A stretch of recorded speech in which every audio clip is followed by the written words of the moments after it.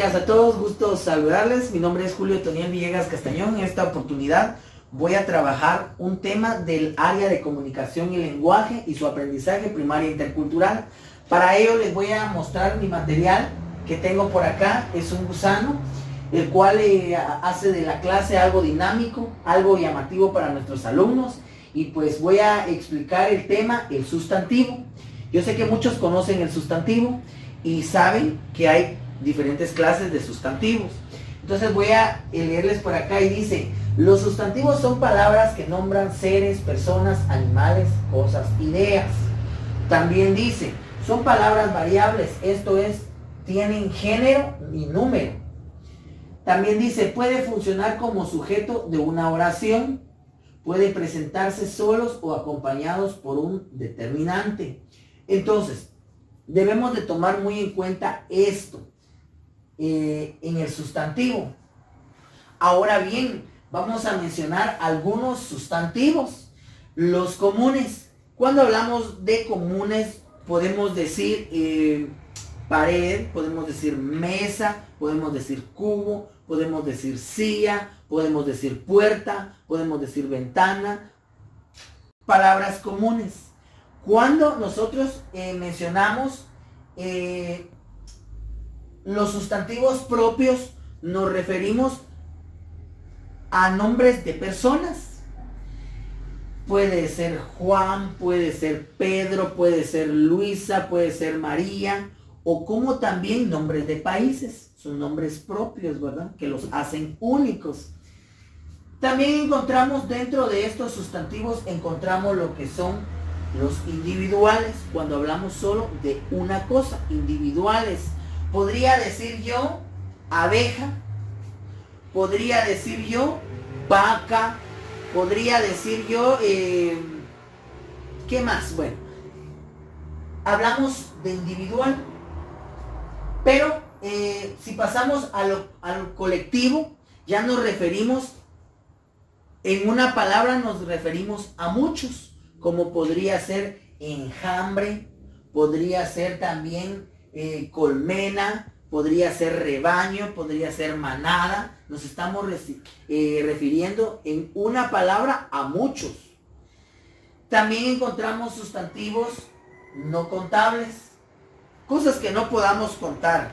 El azúcar, los granos de azúcar, eh, los arroces, los frijoles, el maíz, las arenas del mar, cosas que no, no se pueden contar, ¿verdad? Que si quisiéramos contarlas son infinitas, no tenemos esa capacidad ni esa paciencia de poder contar todo esto. Sería algo ilógico. Y están los contables, como podríamos decir casas, podrían decir carros, podríamos decir eh, televisores, podríamos decir objetos de cocina en una casa, cosas que podamos nosotros contar, ¿verdad? También están lo abstracto lo que nosotros decimos porque lo sentimos, pero no lo vemos, no lo tocamos. Un sentimiento podría ser eh, parte de lo abstracto como amor, yo te amo, no se ve, ¿verdad? Pero si se siente o si lo podemos demostrar. Eh, otro podría ser también, eh, eres especial, podemos tocar eso especial, no lo podemos tocar, ¿verdad? Pero sabemos que lo estamos demostrando con nuestros hechos. Lo concreto, lo concreto yo puedo tocar mi planificación, yo puedo tocar esta mesa, yo puedo tocar este cubo, yo puedo tocar este material, lo concreto, lo que tocamos, lo que podemos manipular. Entonces, estos son nuestros sustantivos, nuestras clases de sustantivos. Ya vimos qué es el sustantivo, ya sabemos que son palabras que nombran seres, personas, animales, cosas, ideas.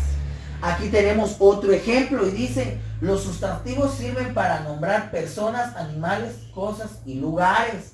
Lugares. Dice por acá, ¿qué es un sustantivo? Volvemos a repetir, ¿verdad? Para que les quede muy claro qué es. Dice, un sustantivo es la palabra que nombra personas, animales, lugares o cosas, todo lo que conoces o observes que tenga un nombre es un sustantivo. Entonces, eh, tenemos por acá las clases de sustantivos. ¿Cómo podemos nosotros ayudar a nuestros niños? ¿Cómo podemos nosotros ayudarlos para que ellos aprendan eh, de una manera eh, fácil, ¿verdad? Para que ellos se motiven y se les quede grabado este tema. Lo que podemos hacer es llevar a nuestro salón de clase un cubo, un, club, un cubo, y poder llevar palabras, poder llevar lo que son las clases de sustantivos. Nosotros lo aventamos, jugamos, jugamos con esto o le damos la oportunidad a los niños, hacemos un círculo, eh, trabajamos con esto y va saliendo y por acá dice contables.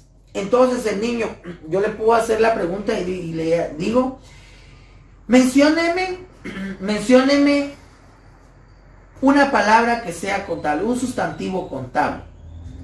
Él me va a decir eh, me va a decir partes de una casa, me puede decir eh, eh, objetos dentro de mi aula. Entonces son cosas que podemos contar, ¿verdad? Si yo le dijera a él, si tiraba, tiráramos nuevamente el, el dado y nos cayera sustantivos propios, mencióneme cinco sustantivos propios. Él podría decir Guatemala, podría decir San Marcos, podría decir eh, un nombre propio, podría decir Javivé, podría decir Itzayana, son nombres propios. Entonces, de esa manera vamos a ir jugando con ellos y vamos a hacer de este, eh, de este tema un aprendizaje significativo. Muchísimas gracias.